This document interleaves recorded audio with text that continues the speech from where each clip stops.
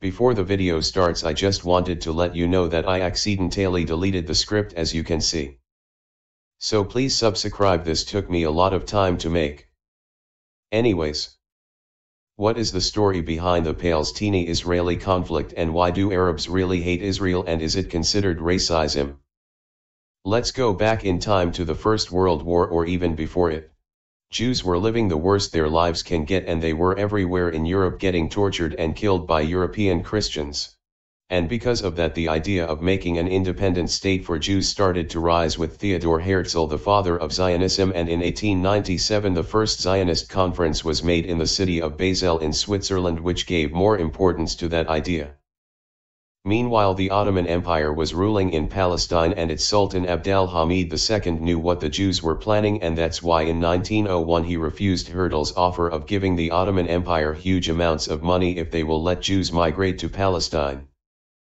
And 13 years later the Ottomans joined World War I with the Axis, and the Sykes-Picot Agreement was done in 1916 and in 1917 Arthur Balfour the British foreign minister announces that he supports the idea of making a country for Jews in Palestine. And after a lot of fighting the Ottoman Empire loses Jerusalem and it fell for the British in the same year. And in 1922 Palestine and some of Jordan is fully under British control and after it there was Arab rebels that wanted to take back the Holy Land which made the British decide to split Palestine in 1937 and most of it was for Arabs but Jerusalem is still under British control just to be changed in 1947 splitting Palestine into a Jewish and an Arab country and Jerusalem became under national rule. And in 1948 Britain leaves Palestine letting both sides apply the splitting the British made which started the first Arab-Israeli war and Arabs were more likely to win but because the US supported Israel the Arabs lost so don't say that Israel was able to beat three Arab countries instead say the truth and say that Israel and America were able to beat the Arabs.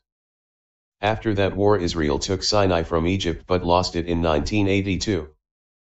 And right now Palestinians are tortured daily by the Israelis and that is why it's not racism when Arabs hate Israel because Palestinians and the rest of Arabs have the same race and religion so I think that the feelings most non-Arabs have towards Ukraine should be also on Palestine. Sub